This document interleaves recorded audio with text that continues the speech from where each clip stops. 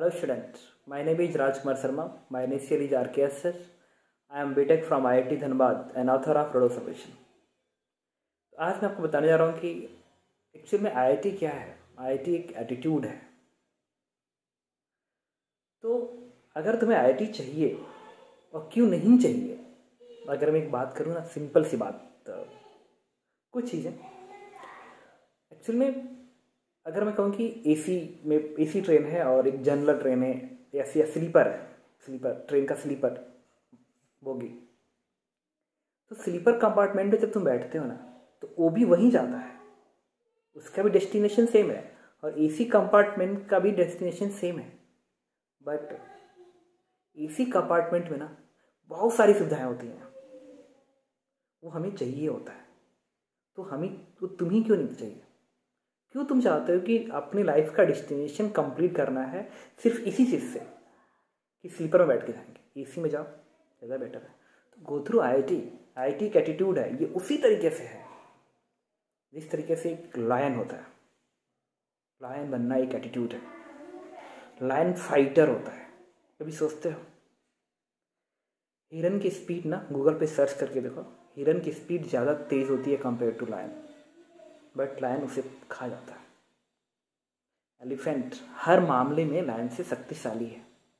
Lion छोटा होता है कंपेयर टू एलिफेंट वेट कम होता है, शक्ति कम होती है। बट कुछ तो है ऐसा लायन में जो उसको विनर बनाती है। तुम्हें उसे जानना है और वो कुछ और नहीं है, वो एटीट्यूड है। Toward question toward M target line का टारगेट है मुझे खाना है। एलिफेंट का टारगेट है मुझे भागना है। तो भाग जाता है तो नहीं खा पाता है। तो तुम्हारा टारगेट ज़रूरी है कि एक तो टाइटी टारगेट होना चाहिए, दूसरा क्वेश्चन सॉल्व करना टारगेट होना चाहिए।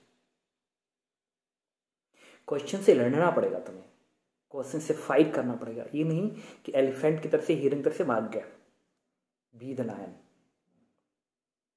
लायन बनना आई बनना, एक एटीट्यूड है ओके तो आपको क्वेश्चन से नहीं भागना है।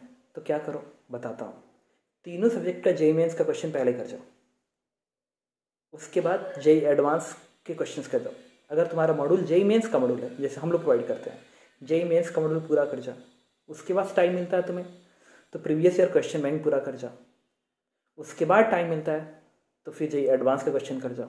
जे एडवांस के मॉड्यूल हैं, और उसके बाद इरोडो कर जाओ। और मैथ कैम में तो बाकी तुम्हारे टीचर बताएँगे। लेकिन किसी भी क्वेश्चन को छोड़ो मत। अगर मेंस का मॉडल कर रहे हो तो पूरा पूरा करो। हर क्वेश्चन को कंप्लीट सॉल्व करो। ये नहीं कि ये डिफ़िकल्ट है छोड़ दिया। उससे लड़ो। आई टी चाहिए कि एनालिसिस आई टी चाहिए। एनालिटिकल माइंड चाहिए। ठीक है? Okay thank you